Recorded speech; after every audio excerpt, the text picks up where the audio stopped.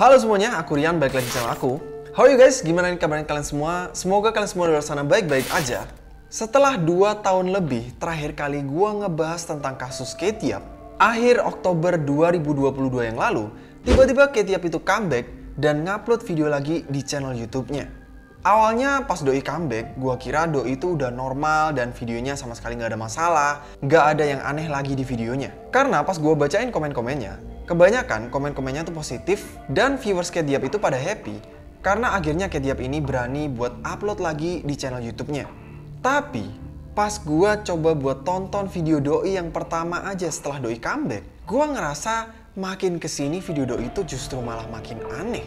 Makin banyak kejanggalan yang sama sekali nggak pernah Doi lakukan di video Doi yang lama. Oh ya BTW buat lo semua yang baru aja gabung ke channel ini, eh buat aja gue udah pernah ngebahas kasus Kediap ini di 6 part video gue. So buat lo yang penasaran atau pengen ngikutin kasus ini dari awal, lo bisa cek di video gue. Linknya gue taruh di bawah. Oke gitu aja, nggak usah lama-lama, kita langsung mulai aja videonya.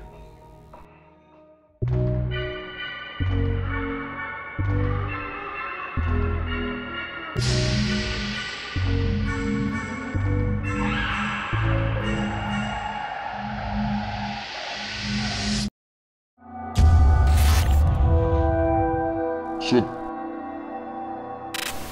Dari thumbnailnya aja, itu udah mencolok banget ya. Pakaian yang dipakai sama Kidiap ini sama sekali nggak pernah Doi pakai di video Doi yang sebelum-sebelumnya. Awalnya gue tuh juga bingung ya, Doi itu pakai baju apa sih? Kok bentukannya aneh gitu kan? Doi pakai sebuah baju lengan panjang yang warnanya biru muda dan kayak agak metalik gitu ya. Tapi kalau lu perhatiin di bagian ujung lengannya, di situ ada sebuah bekas potongan kain yang sama sekali nggak rapi. Dan gue yakin itu doi yang motong sendiri. Coba deh lihat, bekas potongannya itu kayak berantakan banget dan cuman asal-asalan kayak pakai gunting biasa. Bahkan kalau lu nonton videonya sampai bagian terakhir-terakhir, pas makanan doi udah mau habis dan bagian dada Kediap itu kelihatan di kamera, Bagian kain biru yang dipakai sama Kediap itu ternyata cuman sampai bagian di atas dada guys. Dan pakaian doi yang asli itu warnanya hijau tua. Mirip kayak baju yang gua pakai sekarang. Jadi gua rasa baju doi yang berwarna biru tadi itu cuman sebuah kostum yang doi pakai cuman untuk syuting video ini aja. Jadi kayak dirangkepin gitu guys. Selain itu, doi itu juga pakai sebuah penutup kepala yang warnanya biru tapi birunya tuh beda dibanding dengan warna biru yang ada di bajunya. Warnanya lebih tua dan nutupin sampai ke bagian pipi dan telinganya. Kalau gue lihat-lihat, mirip kayak hijab. Terus terakhir, Do itu juga pakai sebuah penutup mata yang kalau lu perhatiin warnanya itu juga belang ya. Setelah gue bolak-balik tonton videonya, gue mikir itu baju apa sih yang Doi pakai dan gue jadi kepikiran kalau bisa jadi baju yang Doi pakai tadi itu adalah baju green screen yang biasa dipakai untuk syuting film. Tapi warna yang dipakai Doi itu bukan hijau bang, itu biru. Iya gue tahu. Eh gue aja nih, emang itu wajar guys. Karena salah satu warna alternatif yang biasa dipakai untuk editing green screen selain warna hijau itu adalah warna biru. Bahkan lu bisa googling sendiri ya, keywordnya itu chroma key suit dan itu banyak banget dijual di marketplace. Biasanya bagian tangannya itu ketutup full sampai ke ujung jari. Tapi sama Kedia, bagian tangannya itu emang sengaja dipotong. Karena Doi kan harus makan pakai tangan. So gue nggak ngerti kenapa Doi comeback dengan pakai kostum kayak beginian. Apakah mungkin masih ada sisa luka-luka di bagian tangannya yang Doi sengaja tutupin dengan pakai baju lengan panjang kayak gini? Seperti kayak di video-video Doi yang dulu. Apakah mungkin Doi itu nggak suka kalau luka-luka di bagian tubuhnya itu dibahas terus dibikinin teori, dibikinin konspirasi sama youtuber-youtuber lain dan mikir kalau Do itu diculik dan segala macam. So gimana nih menurut lu?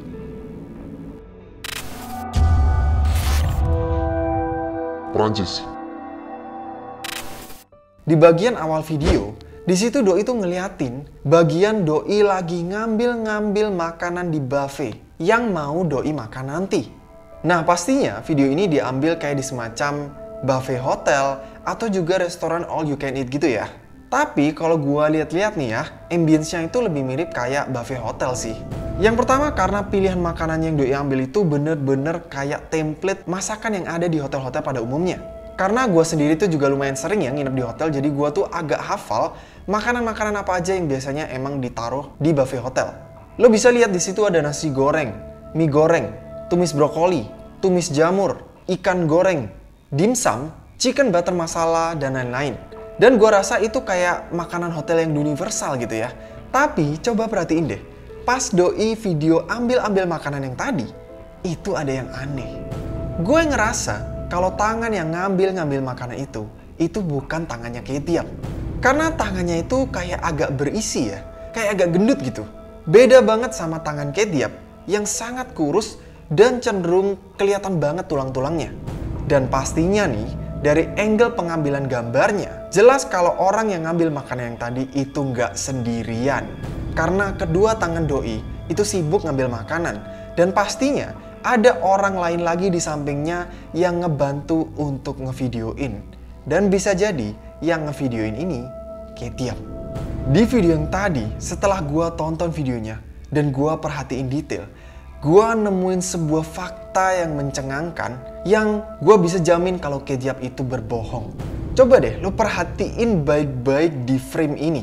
Persis pas kedua tangan itu lagi sibuk ngambil lauk chicken butter masala, di sebelahnya, di situ ada sebuah papan menu yang tulisannya ke crop. Tulisannya sih nggak gitu jelas ya, tapi karena menu makanan yang diambil itu adalah chicken butter masala yang merupakan makanan India, pastinya di bagian buffet yang itu, sederetan itu semuanya juga makanan India. Dan setelah gua kepoin dan gua cari-cari, ternyata di papan kecil yang tadi itu tulisannya adalah Krivet Vindaloo yang memang merupakan menu masakan India dalam bahasa Perancis.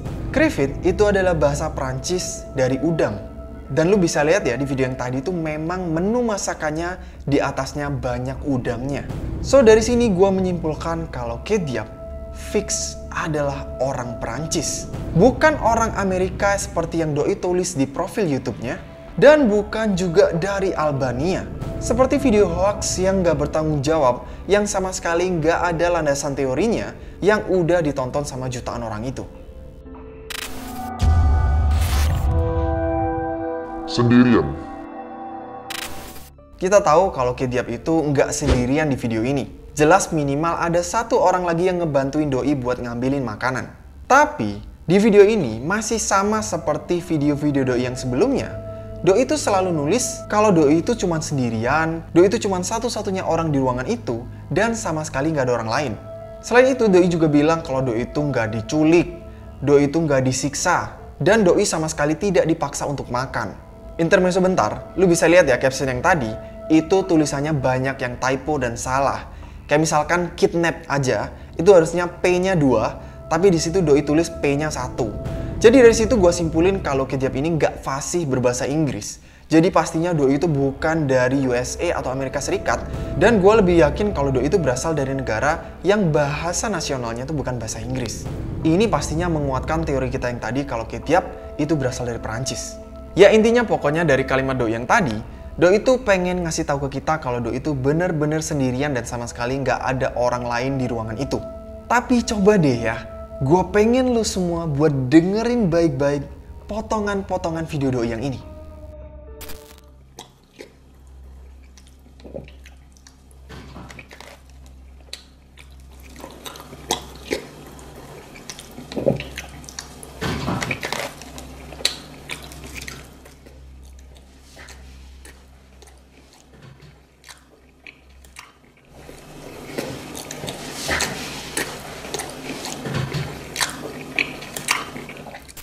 Di sepanjang video Ketiap yang gue amatin, gue ngedengar ada dua kali suara pintu ruangan yang ditutup dengan cukup keras dari kejauhan.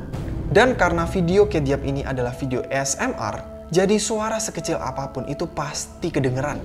Dan mungkin aja suara pintu yang tadi itu adalah suara tamu lain yang menginap di kamar di sebelah kamar Ketiap. Oke, itu memang masuk akal sih menurut gue. Tapi coba deh, kali ini, yang bagian ini Lu bisa jelasin nggak?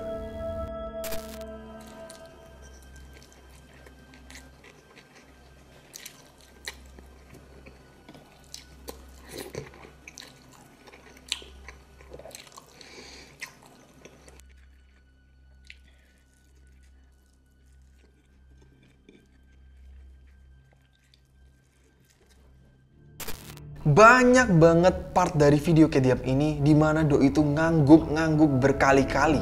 Seolah Doi itu kayak lagi berkomunikasi dengan seseorang. Ada yang ngangguknya itu kayak samar-samar gitu, kayak halus. Tapi ada juga part-part yang ngangguknya itu kelihatan jelas banget. Dan gak mungkin kalau itu adalah sebuah gerakan yang gak disengaja. Gak mungkin banget kalau Doi itu ngangguk-ngangguk kayak gitu tanpa alasan. Pasti ada sebab yang bikin Doi ngelakuin itu.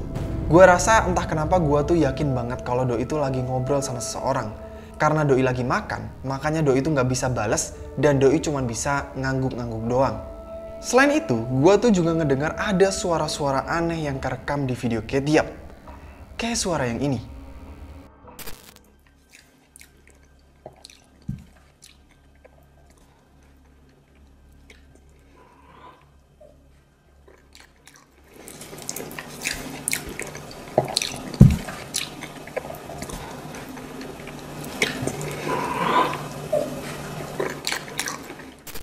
Lu bisa dengerin ya di video yang tadi, itu ada suara nafas seseorang yang kayak deket banget sama kameranya. Menjelang bagian akhir video, kamera Kediap tiba-tiba bergoyang sendiri seolah kayak ada seseorang yang gak sengaja nyenggol kamera Kediap. Dan gak lama setelahnya videonya itu langsung di-cut.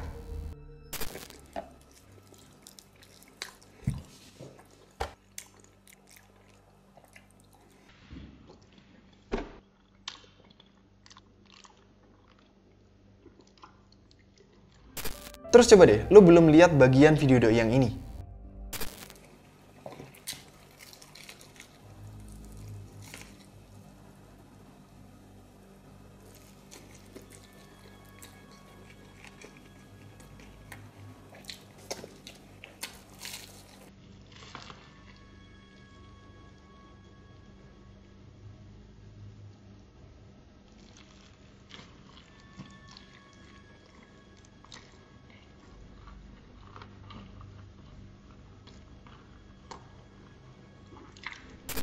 Tiba-tiba secara misterius doi itu berhenti ngunyah, ngeliat ke atas dan ngangguk-ngangguk.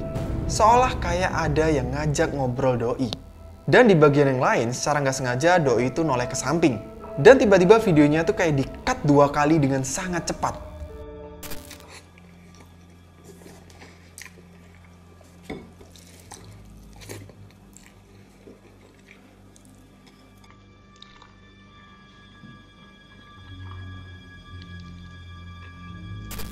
Entah maksud doi itu kenapa kok dipotong secepat itu, gua sendiri juga nggak tahu.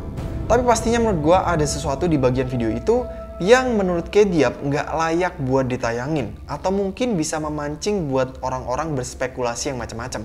Makanya doi langsung cut-cut videonya. TikTok. Sebenarnya masih banyak banget keanehan di video Ketiap yang pertama ini kalau gue pengen bahas satu persatu. Tapi kayaknya gue persingkat aja supaya durasi videonya juga nggak kepanjangan dan lo bisa lebih nyaman buat nontonnya. Jadi di part yang ini gue bakal langsung rangkum aja beberapa keanehan di video Ketiap. Yang pertama lo bisa lihat di bagian hidung Ketiap di situ tuh tiba-tiba ada tindiknya, di mana doi sama sekali nggak pernah pakai tindik atau piercing di video-video doi yang sebelumnya. Jadi ada beberapa viewers yang berteori kalau Ketiap yang sekarang itu bukan Ketiap yang dulu, alias orang yang berbeda. Tapi menurut gue kayaknya teori ini salah ya. Gue ngerasa kayak Ketiap ini masih orang yang sama. Jadi menurut gue teori yang itu kurang relevan. Terus, ada satu bagian di video itu di mana Doi itu nulis salmon. Tapi di tulisan salmon itu huruf S dan huruf O-nya itu huruf besar. Gue rasa ini bukan satu kebetulan. Karena berkali-kali di video Ketiap, Doi itu selalu nulis S dan O dengan huruf kapital. Makanya banyak banget viewersnya yang berspekulasi kalau Doi itu mau menyampaikan pesan SOS atau Doi itu minta tolong ke viewersnya.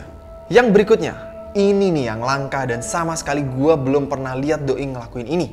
Jadi, di video Doi ini ada adegan di mana Kate dia minum di tengah-tengah Doi sedang makan.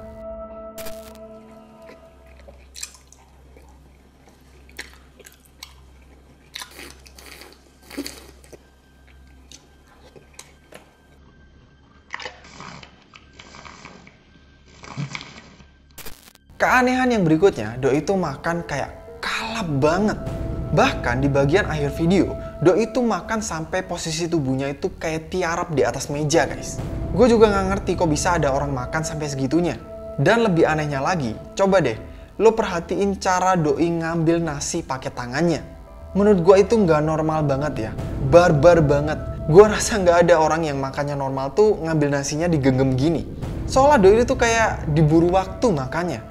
Bahkan pas makanannya itu ada yang jatuh ke atas meja, Doi buru-buru buat ngambil makanan itu dan masukin lagi ke dalam mulutnya.